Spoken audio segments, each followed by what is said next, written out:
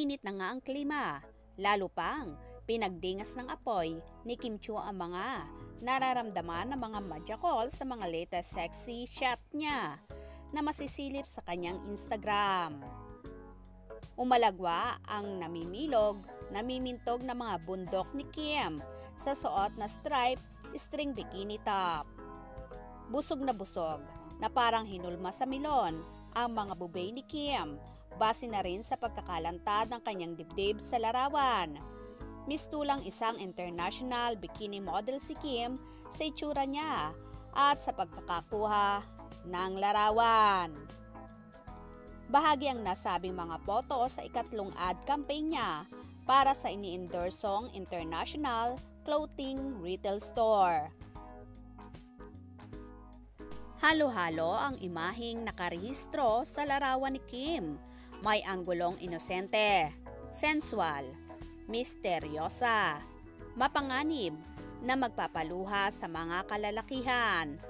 Kung hindi mo kilala si Kim na isang masayahing babae na parang bata, aakalain mong isa itong sex goddess.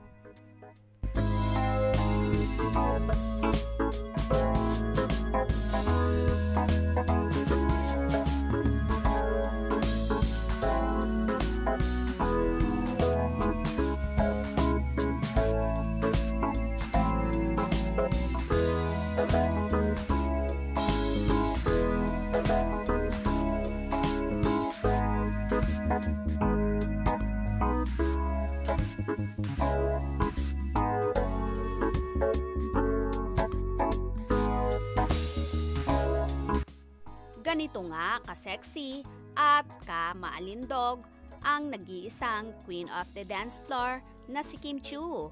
Kaya naman, proud na proud siyang ibandera ang kanyang alindog. Good job, Kimi! Anong inyong magiging reaction sa balitang ito? Just write down below.